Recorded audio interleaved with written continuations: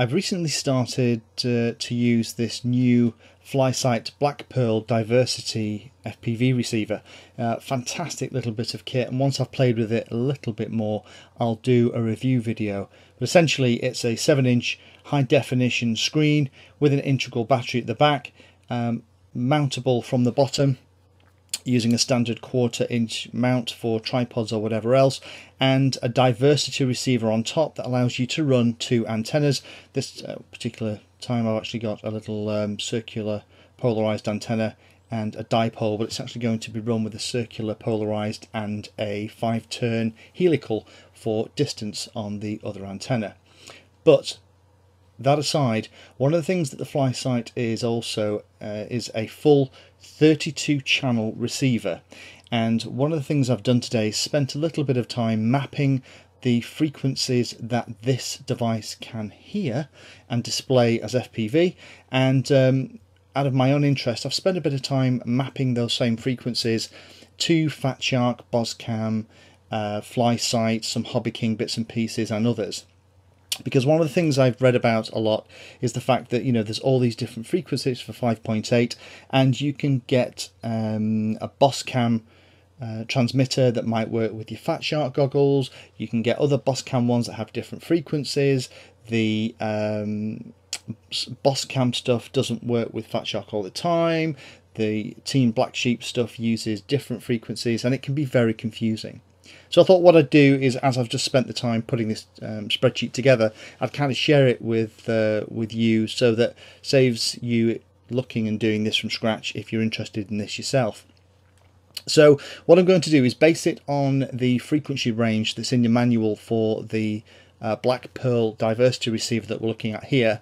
So uh, let's just jump into the slide deck. First slide, um, so here's the 32 channels on the right hand side split up into four bands, bands A, B, C and D and each of those bands has eight channels available in them and a range of frequencies. So for example at the top one it's 5865 that means it's 5.865 gigahertz. The next one in the A range is 5.845 gigahertz and um, what I've done here on the right is I've just put an, a list, a big column with an X in it to show that uh, the Black Pearl can receive and display each of those FPV channels.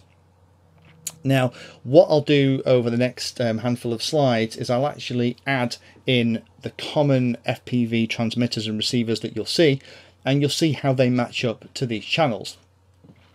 So let's jump into a slightly cleaner format so that we have room to do that. So here we are, we've got our 32 channels that a diversity 32 channel receiver will hear.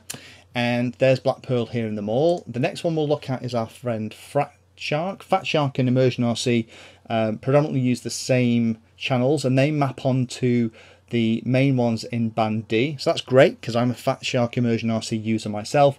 So I now know that I need to um, put the um, Black Pearl into uh, the D band and uh, select one of the channels. It's probably going to be channel 1 because I don't tend to play with them too much. Let's look at the next one, uh, Boscam. And you can see that Boscam actually use the different band, band C here. So they're using uh, 5705 all the way down to 5945 and those two don't overlap and that is why a Boscam transmitter can't be seen by a Fat Shark or Immersion RC receiver and vice versa. They don't have any common frequencies that you can use. All makes sense so far. But then I found that Boscam, there's also a version, um, the TBS Rookie, that actually uses a completely different set of, uh, of frequencies um, up in the band A. Still a Boscam transmitter, but this does mean that we have to be really careful when we're buying this stuff and that just because something is from the same manufacturer there may be different versions or editions of transmitters and receivers and we need to be reading the fine print to make sure that the frequencies that we think we're getting on the product are the ones that we're looking at. Next one is FlySight. I was interested in that because FlySight is obviously the manufacturer of the Black Pearl that I've got here and uh, they have a couple. One is this uh, TX5804 that, funnily enough, is promoted as an immersion RC Fat Shark compatible transmitter, and you can see exactly why, because they're using band D and they're using the majority of those same channels. Interestingly, Flysight also do another one, um, an RC305 is the one we were talking about here, and that is an exact match for the Boscam channels in band C.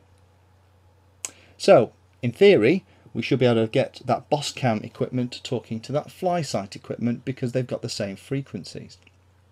And then finally, there was another one on Hobby King that I had a look at, and that Hobby King one again was using that band C. So here we are, we have three different bits and pieces on the band C, one from Boscam, one from Flysight and one from Hobby King that should all work together. And at the bottom we have a couple of bits and pieces that would work together potentially. The Flysight um, Fat Shark compatible system TX5804 and the Fat Shark and Immersion RC as well. But it was interesting that even Boscam and Flysight are using different frequencies from different bits and pieces. Now one of the things you might have noticed is that the frequency range doesn't go up sequentially. So for example, uh, band A channel 1 isn't the lowest frequency available and band D channel 8 at the bottom isn't the highest frequency. There's actually a spread in each of them. And if you actually order this table now um, by frequency, so the lowest at the top and the um, highest frequency is at the bottom, it looks like this. It's a kind of a bit of an interesting um, pattern really. You have band C, seems to be a bit of a weird and wacky one in that it has the frequencies at the very low end and at the very high end and throughout the middle of the range of the 5.8 gig band you have alternating A, B and D frequencies all the way through. Now 5.8 is actually in band D, it's right in the middle here, band D, channel 4 5800 that is a 5.8 gig exactly. Um, be aware that the further away that you get from 5.8 gig the less efficient the aerials you are using will be because an aerial is tuned for a specific frequency and the further away you get from that frequency the less efficient that aerial is. So it's actually physically manufactured for one. So that's why I'm guessing that the A, Bs and Ds are all there in the middle because it gives you a lot of choice about which of those sets of frequencies you want to use and you can put them side by side with the exception of band C which seems to be the bread in this pastrami sandwich. One thing you have to be really careful of is that before I did this work I assumed incorrectly that because I would be using a Fat Shark system at the field and a colleague of mine might be using a Boscam, something like the TBS Rookie system, um, that we wouldn't have a problem overlapping. But if you look here, if I was using the Fat Shark system and I was using um, Band D channel 3, that's 5.78 gigahertz if my friend was using the TBS Rookie and he'd accidentally managed to get band A channel 5, he'd be using 5.785 gigahertz for his FPV. That is too close. They would start to interfere with each other. So just because there are different manufacturers and different bands, just be careful of that when you're flying FPV with friends and colleagues. Make sure that there's enough separation between the two frequencies that you're using so that you don't interfere with each other's view. So hopefully that's interesting for those of you who are looking at FPV. Um, I'll post the more detailed review of the uh, Flysight Black Pearl 7 inch diversity receiver when I've played with it more. Uh, but if you have any comments and questions, please post them. Uh, some of the data in this might be um, slightly incorrect because I've gone off the data sheets and websites that this stuff is listed on, but I thought it would be uh, an interesting way to share an hour's worth of work and research with you, my subscribers. Thanks for watching. Happy flying. Please comment, subscribe, and if you need to talk to me, my Helpout channel is available.